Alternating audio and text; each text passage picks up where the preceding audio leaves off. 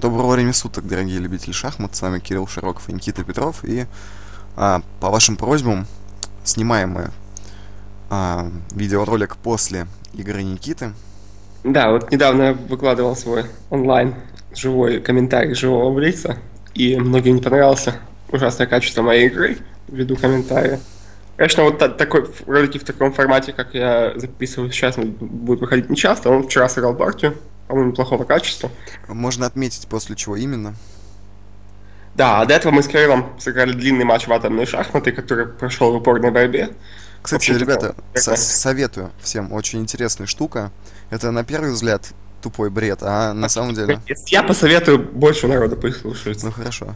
В общем, я должен сказать, что это действительно помогает, по крайней мере, полиции видеть тактику в шахматы в обычной. Я не знаю почему, но это работает. Ну, развивает пока, ну, насколько... По крайней Эффект. мере, Эффект, правда, не очень долгосрочный. Если переборщить, то можно слишком много атомных мотивов видеть в обычных шахматах. а Это тоже вредно. Так что надо знать меры. Часик раз в неделю, мне кажется, неплохо. Э, да, ну, мы приступаем к партии. Да, играл черными. Сцелянка, мой любимый вариант Паутсон без коня на c6. И тут слон d3. Слон d3 ход э, долгое время считался самым опасным. Считается, что конь c3, несмотря на то, что более популярный, ход довольно ну, не очень сильный, черный там уравнивают. Слон d3 всегда считался, считался главным входом, но в последнее время э, для мне, меня лично и у ну, многих, наверное, кто играет этот вариант, наибольшие проблемы вызывает ход c4 э, по Карлсону.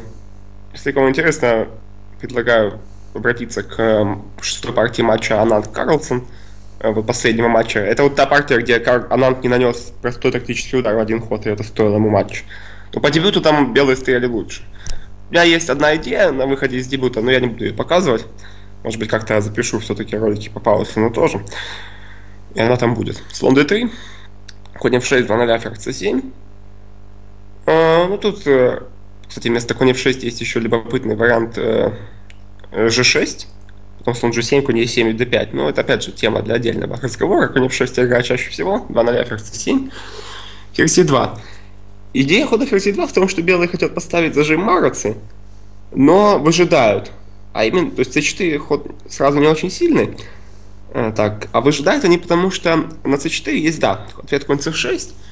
И после, например, э, хода коня черных, черная слона есть очень хорошая клетка для развития. А если конь c6, то dc, типичная структура, черный успевает пойти e5 и зафиксировать слабость поля d4. Просто получает лучшую позицию. Поэтому ферзь e2 таким образом белые ждут хода э, d6, чтобы слон не выходил на c5 в этом варианте.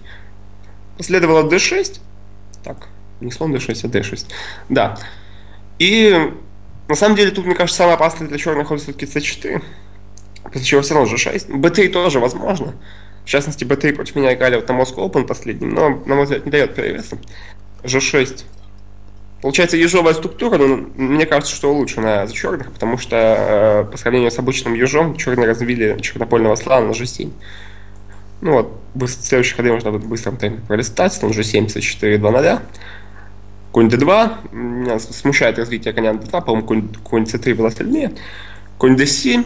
Ладья а на d1, b6. Ну, типичная расстановка для ежа. Обычно, правда, слон стоит на e7, пешка на g7, но мне кажется, что такая, так, такое расположение фигур даже лучше. Слон b1, ход неплохой, слон b7. И вот тут, мне кажется, белые допустили довольно серьезную ошибку. Правда, в таком в такой структуре, как Йош, это может быть не так страшно. Белые сыграли конь 2 f3. После конь c5 оказалось, что пешку e4 защищать неудобно. То есть э, был ход e5, Или нечем просто. Ну, нет, ход конь d2 есть всегда. А вот э, ход e5 тоже был, но после него сни- напряжение снимается. И, и, в общем, обычно шахматисты, играющие белые, вот на такую позицию идти не очень да, рады. Что неожиданно черный слон на b7 становится очень сильный. Появляются какие-то идеи вроде конь h5, конь f4 и тому подобное. Так. Не так, конечно, надо конь h5 и конь f4. Ну, сначала можно ладьон d8 подтянуть. В общем, у черных нет проблем. Все равно, наверное, было сильнее, чем конь d2.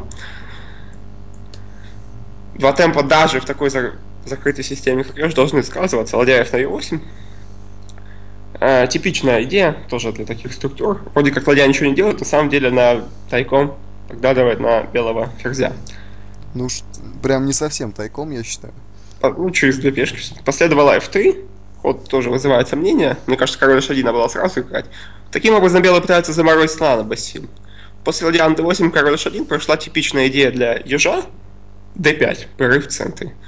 Однако тут она связана с немножко неожиданным продолжением этой идеи, которая я, если честно, вижу, вижу первый раз. Собственно, поэтому эту партию я решил показать. Мне кажется, что в позиционном отношении, вот начиная с этого момента, игра на черной довольно неплохо. Е5 последовало, но Е5 это строго единственная реакция, потому что в случае любых разменов сказывается то, что белых раскоординированы фигуры. Ферзь на E2 плохо стоит. Ну, ужасно, ужасно. Будь здоров. Спасибо. Последовало Е5.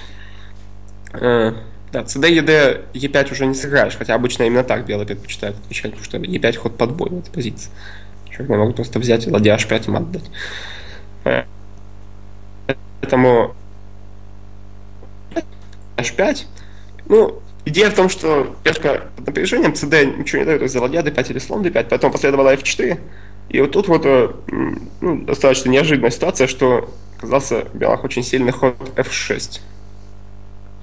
Практически никогда в не работает, он создает кучу слабостей, слон на b1 начинает стрелять, слон на b2 начинает стрелять, на e6 слабость, но конкретные факторы тут оказываются важнее. То есть даже движок, по-моему, начинает уже писать оценку небольшую в пользу черных.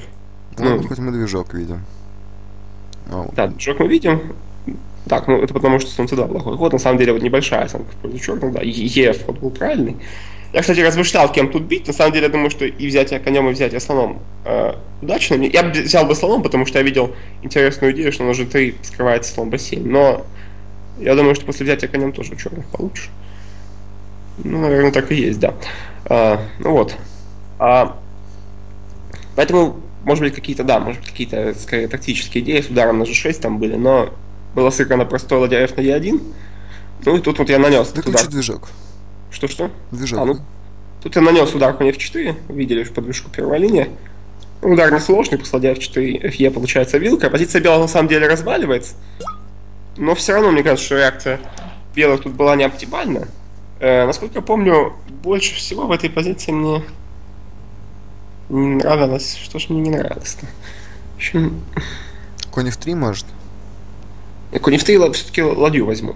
ну как бы слоны снимаются, снимаются после этого с доски. А, ой, мне кажется, не нравилось что-то, что-то какой-то, ну, не знаю, не уверен.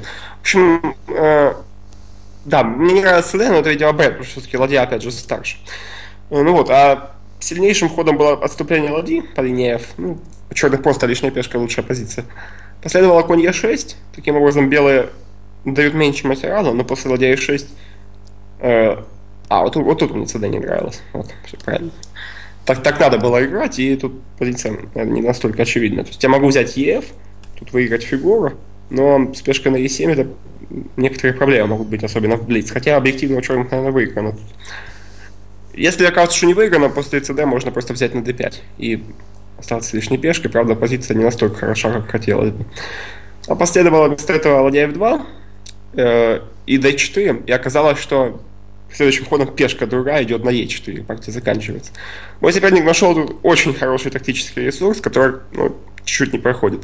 Сыграл конь e4 после d3, конь c5, de конь Е6. Белый, кажется, забирает много фигур, но нашелся сильный ход ладья D1. То есть на конь c7 понятно, что мат, пришлось играть ладья E2, и тут вот такая вот неожиданная геометрия. Ладья бьет E1 из атомных шахмат практически. Mm. В атомных шахматах, если кто не знает, очень важно как можно быстрее создать э, в позиции соперника очень много пустот и потом завести ферзя. Но... Пустоты, потому что он всегда шахует на пустое поле, и это конец.